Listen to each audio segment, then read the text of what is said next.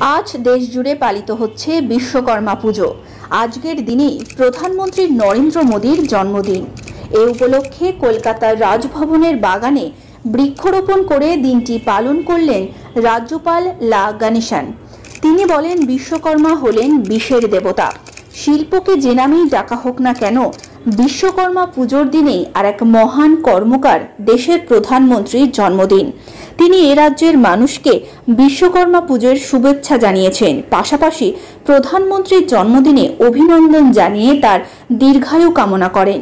রাজ্যপাল বলেন, প্রধানমন্ত্রী সবসময় দেশ ও দেশের মানুষের জন্য উচ্চমানের চিন্তাভাবনা করেন।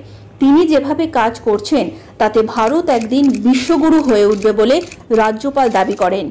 প্রধানমন্ত্রীর বিরুদ্ধে বিরোধীদের সমালোচনা প্রসঙ্গে এক প্রশ্নের উত্তরে রাজ্যপাল বলেন এর জন্যই তারা বিরোধী দলে রয়েছেন শাসক দলের বিরুদ্ধে বিরোধীদের সমালোচনাকে কখনোই আটকানো যায় না वो करते हैं ये क्या है I don't blame that they are they are doing duty I am doing my duty and prime minister doing his duty sir तीन दिन पहले कोलकाता में एक एजिटेशन है पॉलिटिकल पार्टी का एजिटेशन था उधर एक पुलिस का वैन अ, Trust.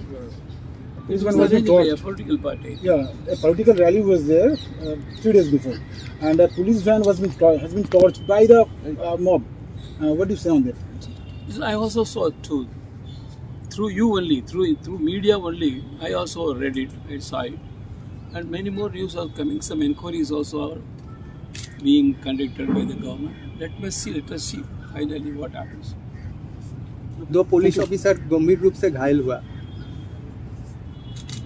हो सकता है लेकिन it has happened what happened is happened and who is wrong who is right there will be no after inquiry it will be known to the public.